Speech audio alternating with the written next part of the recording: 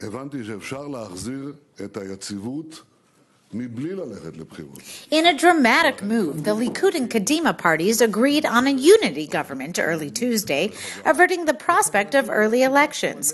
Prime Minister Benjamin Netanyahu and Kadima chairman Shaul Mofaz finalized the surprising unity agreement hours before the Knesset was expected to set September 4th as the date of the next elections. Prime Minister Netanyahu announced that Kadima's Mofaz will be appointed deputy prime minister and minister without portfolio, while also being included in Israel's security cabinet. The newly formed Unity Cabinet was created to advance the main issues Israel faces at this time. A wide government, according to Netanyahu, could advance a responsible peace process.